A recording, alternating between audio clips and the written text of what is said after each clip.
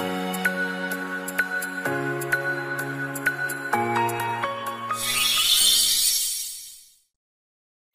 い、えー、それでは11月26日の3問に入ります。A が B に A 所有の公土地を売却し、その際、B 所有のオツ土地が売れた時に、B は A に公土地の代金を支払うという条件をつけた。A の代金債権の消滅事項はいつから進行するかという問題です。考えたい方は動画一旦ストップしていただいて、この動画の下の概要欄から問題文ご確認ください。問題文の状況としては、えー、B さんが所有する土地があるんですね。落つ土地っていうのがあって、これが売れた時に、B さんは A に代金を支払う。つまり、B さんは A から高土地を買ってるんですよね。B は A から高土地を買ってます。A がってなってるので、A を主語にしたら A は B に土地を売ってるんですね。高土地を売ってます。つまり B が持っている土地が売れたら B さんは A から土地買いますよっていう条件なんですよ。で、この場合、売った側の A さんの代金債権、つまり A さんが B さんに高土地の代金を取り立てる権利ですね。これの消滅事項はいつから進行を始めるかという内容です。で、答えは B さんの落つ土地が売れた時からなんですね。消滅事項の起算点、いつから進行するかというのは、権利を行使できる時から、え進行します。つまり、売り主 A が買い主 B に対して代金の取り立てをできるのはいつからですか？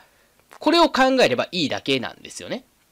権利が行使できるってことは、取り立てができるってことなので、いつ取り立てができるかということなんですよ。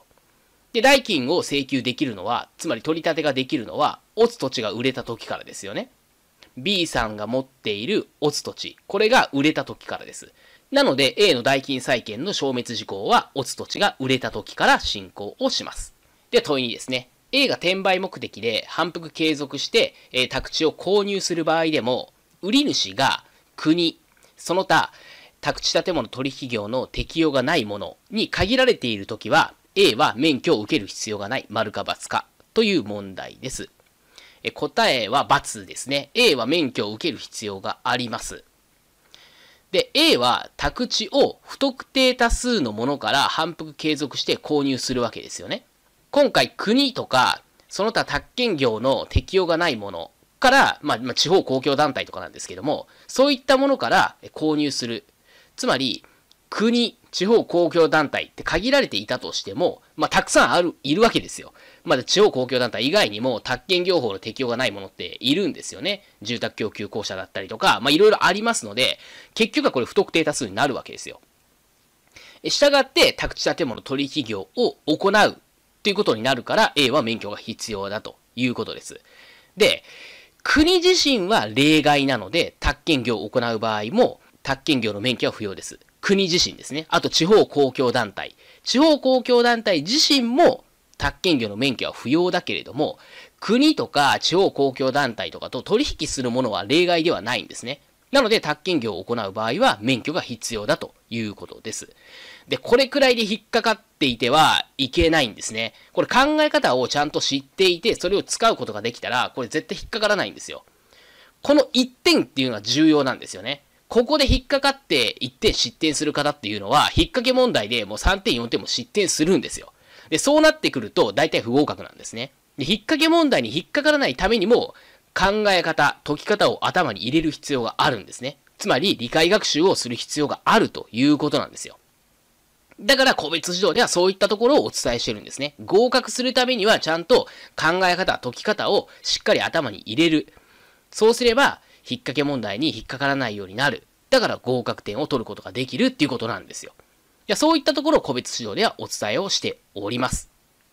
では問い3に入ります。容積率を算定する上では、共同住宅の共用の廊下及び階段部分は当該共同住宅の延べ面積の3分の1を限度として、当該共同住宅の延べ面積に参入しない丸か×かという問題です。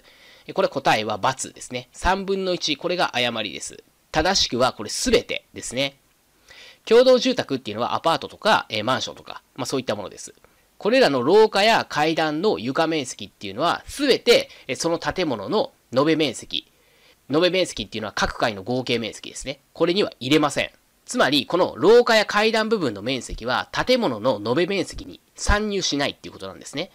つまり、マンションの部屋の合計面積が1000平米あって、廊下やエレベーター部分の面積が200平米あったとします。まあこれ合計すると1200平米ですよね。ただこのマンションの延べ面積っていうのは、この廊下やエレベーター部分のこの床面積200平米、これ入れませんので、まあ階段部分もそうですね。もう入れませんので1000平米になると、まあ、いうことです。